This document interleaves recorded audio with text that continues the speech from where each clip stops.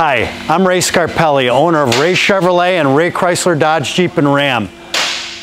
Come and join us and give to the troops. We're collecting for Barbecue for the Troops. All the money that we collect goes toward uh, USO of Illinois. That means our local troops get the money. And there's no better cause right now to help our troops, the people that helped us and help our freedom. So please give generously. You can go on our website, Ray Chevrolet, Ray Chrysler Dodge Jeep and Ram, and we're going to collect it all month long. So see us on our website. Please stop by. We have uh, change jars that we're collecting uh, funds for the troops as well. Got some extra change, dump it in the jar. It goes all to the troops of Illinois, USO of Illinois. We'll see you soon.